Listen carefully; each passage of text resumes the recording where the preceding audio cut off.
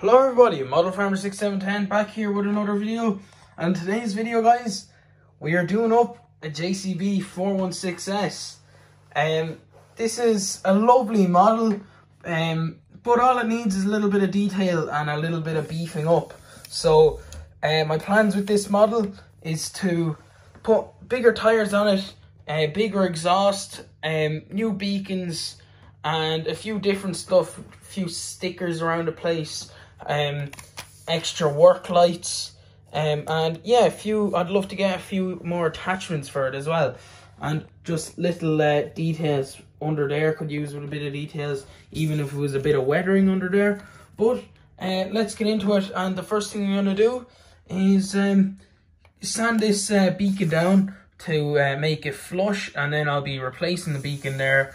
I'm then next I will uh, take off the exhaust and then we'll have a look at the tyres. And last we'll put on the work lights and different stuff. So I'm currently taking off this beacon, so nice and easy.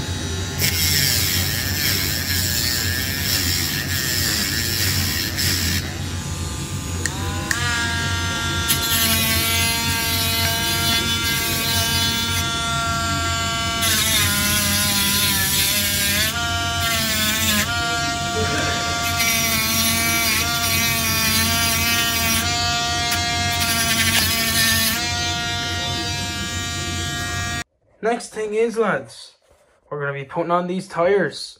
So, I have lovely um, JCB 419S tyres. I got them off. It's a Britains tractor, or Britains loader. Uh, it's really uh, similar to this, but it's uh, a newer type. And um, yeah, you can pick them up for about 26 euro or 30 euro in between there. And what I'm going to do is I'm going to swap out the wheels. So as you can see, there's a bit of a thickness difference in the tires and they still a little bit higher. They look a bit cooler in my opinion. But what we're going to do is we're going to take these tires off. I'm literally just going to rip them off because I won't be using them for anything. But um, And then we're just going to slide these ones in. I also, off the 419, you can use a few things.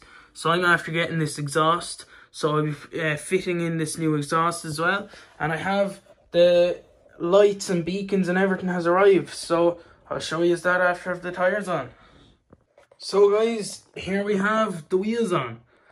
So the wheels look really good at the minute and we also have the exhaust on.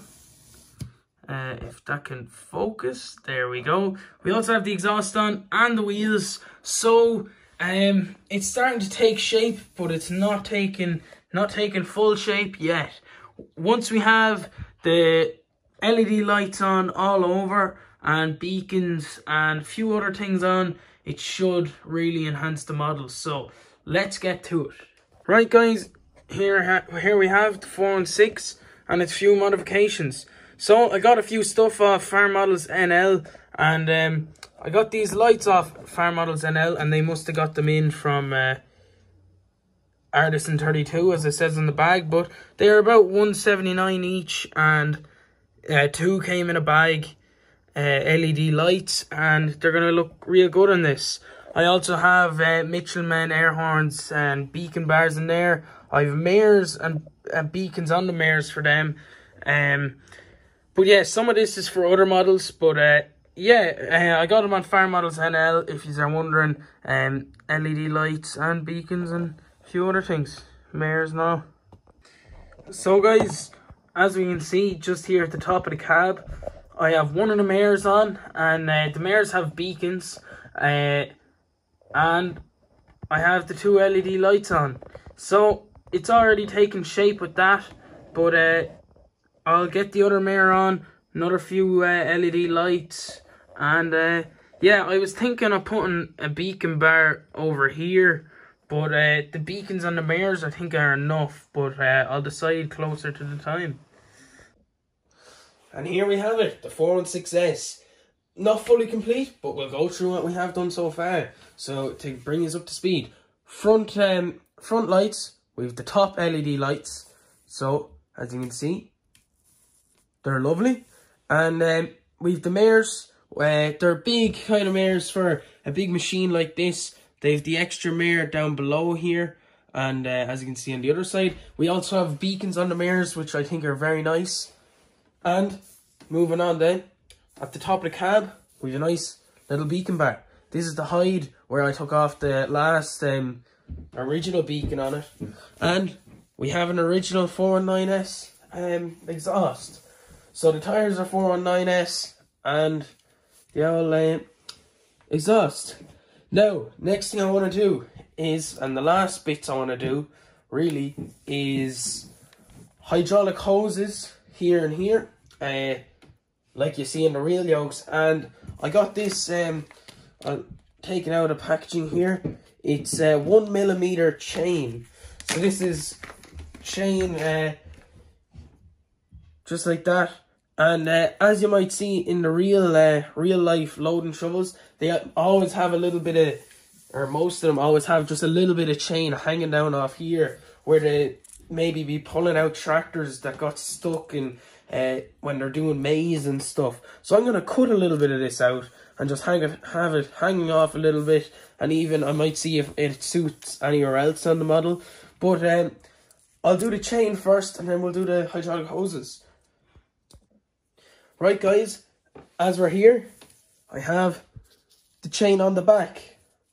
With this one, mil one millimeter chain that I got off Amazon, uh, which you can use for multiple models, you know? Uh, you can put it on front weights, you can put it on a few things, like um, may even make a chain harrow or anything. Um, it was very cheap, it was like it was less than 5 euro I think it was, and uh, there's a good bit in it, and uh, with a bit of all-purpose glue that's dripping.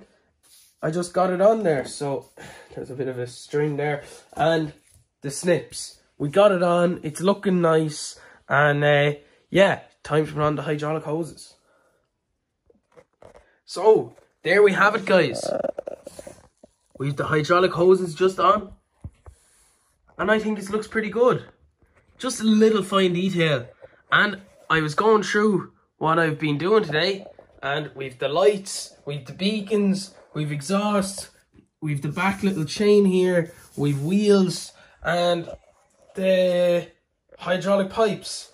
I'm very happy how this model turned out, and it was uh, relatively good pricing for the look of the model at this stage. But thanks everybody for watching, and if you're trying it yourself, please send in your pictures. Thanks everybody for watching, and we'll see you in the next one. Bye for now.